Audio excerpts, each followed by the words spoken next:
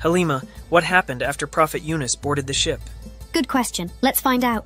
After Prophet Yunus boarded a ship, it began to sail in calm waters. However, this would not remain so for long. Like Nineveh, this part of the world too was about to face adversities. As night came, by the decree of Allah, the wind began to turn bad.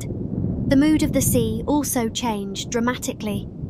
Soon a terrible storm ensued. The sea waves were going wild. They were rising like mountains and then plunging like valleys. The wild sea waves were tossing the overloaded ship like a toy, and the blow of the storm was trying to split it into pieces. So, Atif, did you get the answer? Yes, but I'm curious about what happened next. Friends, are you also curious to know what happened after Prophet Yunus faced the storm? Stay tuned to the Prophet Stories quiz series for the answer and to explore more fascinating quizzes.